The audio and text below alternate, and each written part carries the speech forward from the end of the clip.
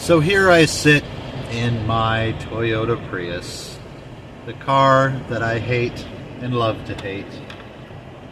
I hate it because it's a Prius. I hate it because it's beige. I hate it because it's not comfortable.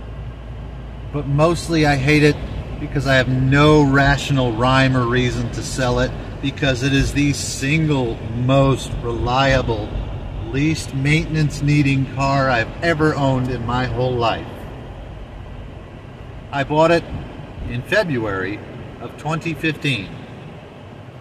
And we'll turn the camera here so you can see the dashboard. This is my shifter. You see that? This is my directional. Put it in drive. We go forward.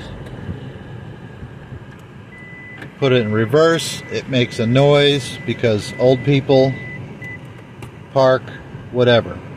To this day, since 2015, from shifting reverse to forward, I will grab the indicator and move it down. Wipers, not the indicator, the wipers, and move it down and attempt to put it in drive. I'm that old. Column shifter old. Wrong hand. Where, what are we looking at here? Whatever, you get the idea. I'm old enough to remember two different keys for your car.